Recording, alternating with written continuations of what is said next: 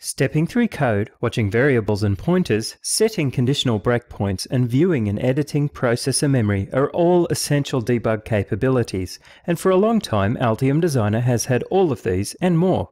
But when it comes to debugging embedded designs, and in particular multi-threaded real-time systems, you need to be able to emulate the final operating environment as closely as possible. To that end, Release 10 brings with it some key embedded debug enhancements, namely the ability to attach a new debug session to the target CPU, even while that CPU is already running the embedded code.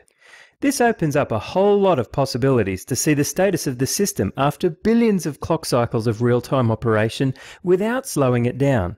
You can launch a new debug session with a running processor from Devices View. Just right click on the target processor's icon and choose Attach. The system will pause execution and open the source code editor with the current execution point highlighted.